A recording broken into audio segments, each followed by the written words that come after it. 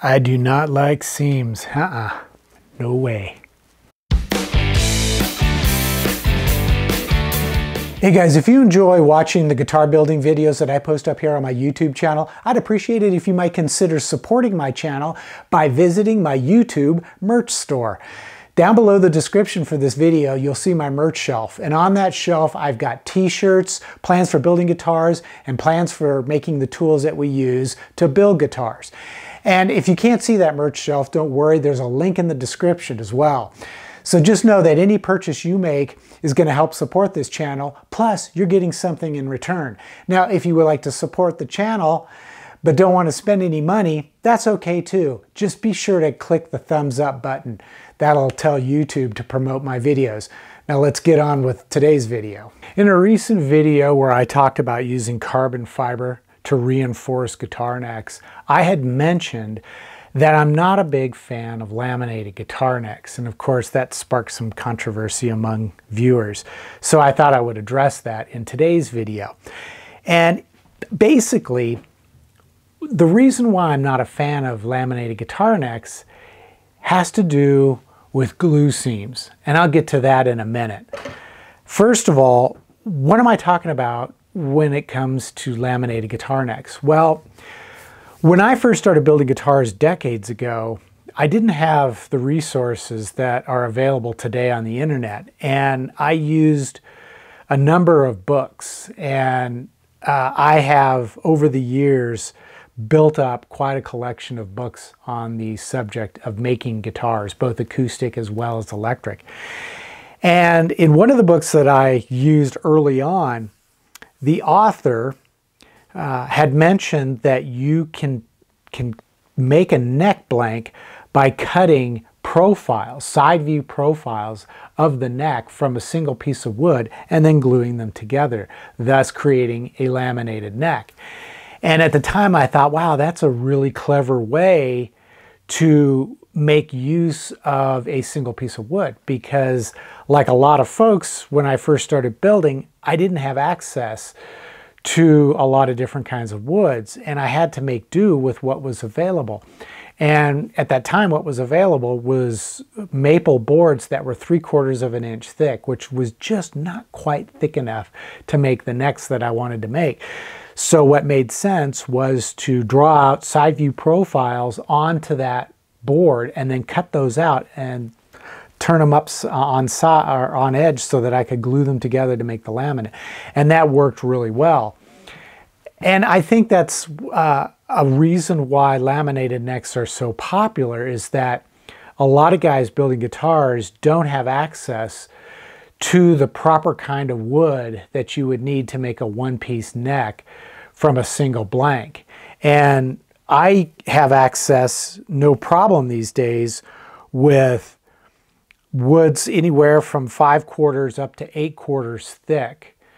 Uh, in the case of maple, it's usually flat sawn because I like the way flat sawn grain looks. In the case of mahogany or limba and other similar woods, I can get quarter sawn in those thicknesses. So I can easily make a neck from a single piece of wood. But for a lot of people, they simply don't have that kind of access. So they have to try to make do. And one of the ways to do it is to make the laminated neck. One of the reasons why builders will justify making necks using a lamination technique is they will say that a laminated neck has greater stability than a neck made from a single piece of wood. And that's debatable. Uh, you would have to do all kinds of scientific research to determine whether or not that's actually true. And to my knowledge, no one's ever done it. It's one of those hypothetical theories and opinions that people have when it comes to guitar neck construction.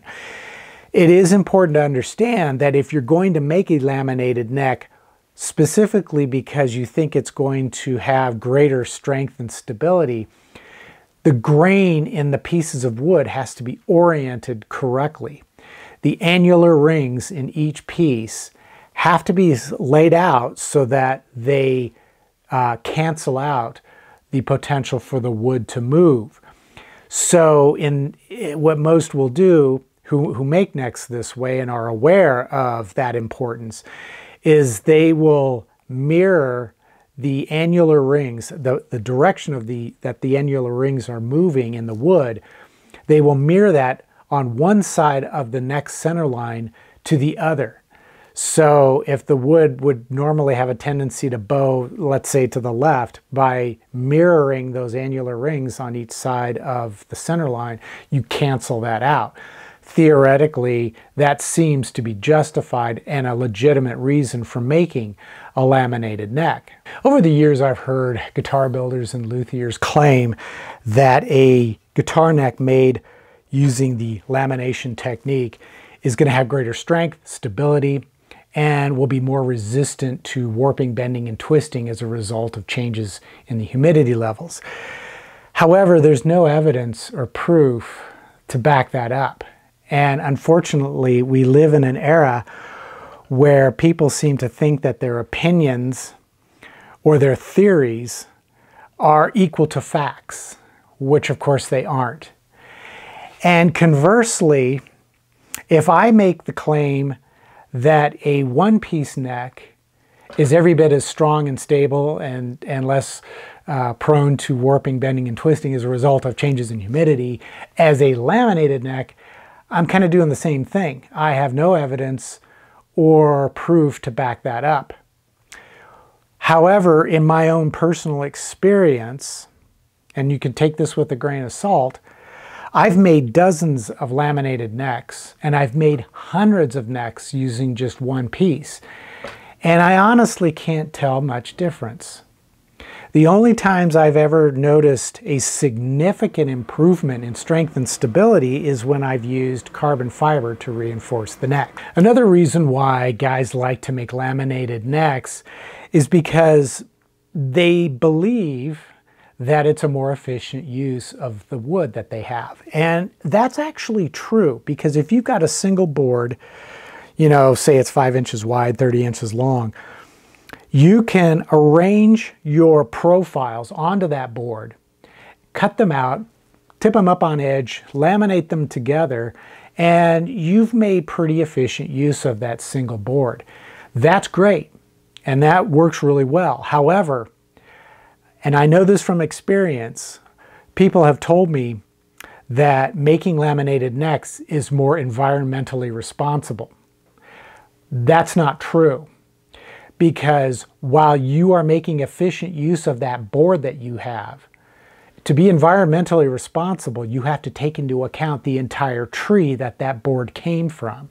So even though you've made efficient use of that one single piece of wood, you have no idea how all the other boards that came from that tree are being used. And since the tree was cut down and then turned into slabs of wood to be consumed by humans, you have to take the entire tree into account and how it's used, not just your one single board. Now, over the last couple of years, I have noticed that luthiers are starting to make laminated necks that are much more complicated than the way I learned to do it a couple of decades ago. Uh, when I first started making laminated necks, I learned from a luthier by the name of Robert Benedetto who demonstrated the technique by cutting his laminations from a single piece of maple. So he typically would have, you know, three pieces of maple which were all glued together. And that's how I was making mine and it seemed to make sense.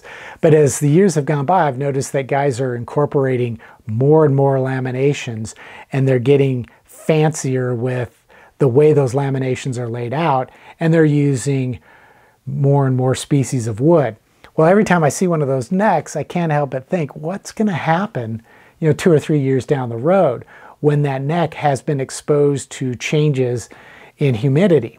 Because as you know, different species of wood expand and contract at different rates when the humidity levels change.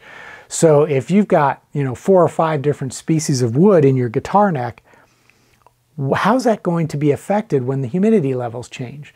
Well, I can tell you from experience what's going to happen. Those seams, not only will you see them, but you're going to feel them as well. And I've noticed this on not only guitars that were several years old, but I've also noticed it on brand new guitars with laminated necks. I would pick it up and I could feel those seams. as the humidity levels have changed.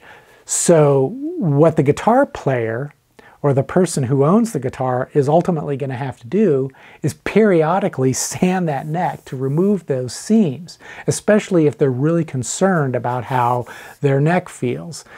Let's face it, a lot of guitar players are really concerned about how that neck feels. So if they feel a seam, they're not going to like it, and they're going to have to sand it down and refinish the neck. And that's perhaps the main reason why I don't like to make laminated necks. Too many seams. Of course, I realize that my perspective on laminated guitar necks is going to be somewhat controversial, especially to the lamination superfans out there. Uh, however, I rarely shy away from controversy when it comes to uh, my opinions on guitar building. And hopefully this video is going to provide food for thought for those of you who are maybe new to building guitars and are trying to decide whether to make a laminated neck or carve a neck out of a single piece of wood. Either way, eh, if you got something in the video, please consider giving me a thumbs up. And as I said at the beginning of this video, you can support the channel financially and get something in return. Uh, but there's also another way you can help uh, support the channel financially, and that's by clicking the new thanks button down below. And that gives you the opportunity to give me a little tip. And with that tip, I use the money to purchase the lights, my camera equipment, my microphones, and a lot of the products that I review here on my uh, YouTube Highline Guitars uh, channel. So, uh, as always, until the next episode, take care, stay safe, and I'll see you soon.